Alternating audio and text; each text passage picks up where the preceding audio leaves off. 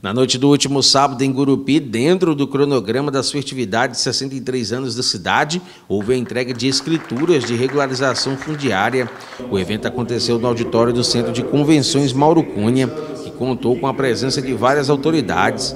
O secretário de Desenvolvimento Urbano, Eremilson Ferreira, destacou que serão entregues 62 escrituras às famílias de Gurupi e afirma ainda que precisam ser regularizados 12 setores na capital da amizade. Isso, hoje nós estamos presenteando, né, a gestão José Nunes está presenteando essas 62 famílias que estão tendo assim é, a honra de estar recebendo os títulos definitivos é, dos seus imóveis.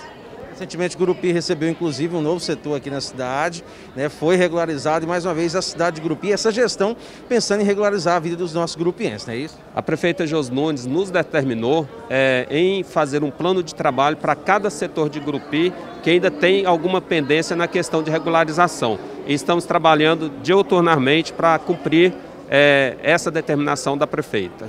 Agora, quando você fala no quesito novidades, o que, a população pode esperar da Secretaria de Habitação com essa gestão após o aniversário de Grupis? Terá novos títulos, mais regularização, é, será um conjunto habitacional? Tem novidades? Conta pra gente.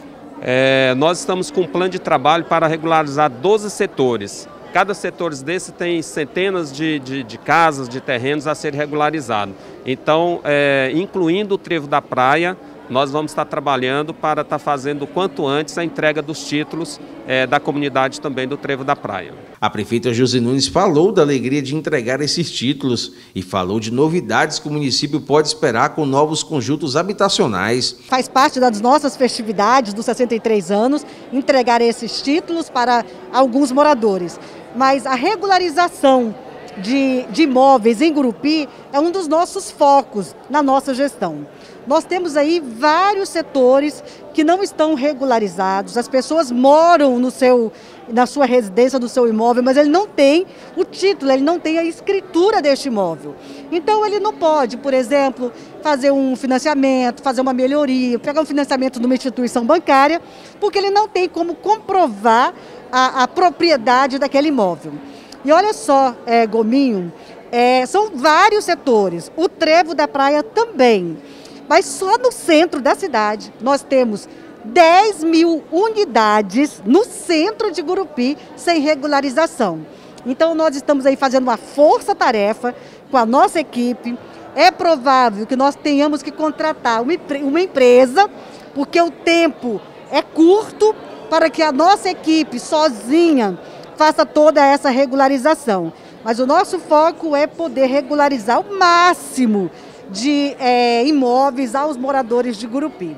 Além disso, nós queremos também fazer a questão das unidades habitacionais.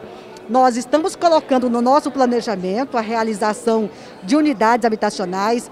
O governo federal ainda não implementou um grande programa de, é, é, de unidades, de casas, né?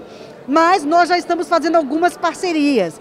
Parcerias para que unidades habitacionais sejam construídas. E eu vou, estou diretamente em Brasília buscando recursos para que nós tenhamos no nosso mandato também é, casas populares para a nossa comunidade. A Cleide recebeu sua escritura e agradeceu. Segundo ela, isso é um sonho realizado. É felicidade, né? Porque foram anos e anos a gente lutando, batalhando para conseguir esse documento que nós conseguimos hoje certo? E não era só é, um, uma pessoa, duas ou três, né? Era vários lotes que estavam todos enrolados e a gente não estava conseguindo né, a documentação. Sempre tinha um impedimento, sempre tinha um problema. Mas nós não desistimos e hoje estamos aqui com a vitória, em nome de Jesus. Agora está tudo documentado e pode dizer que é da senhora? Agora é, com certeza. Muitas pessoas estiveram presentes na solenidade de entrega. Os que não receberam ainda devem procurar a Secretaria de Desenvolvimento Urbano de Gurupi.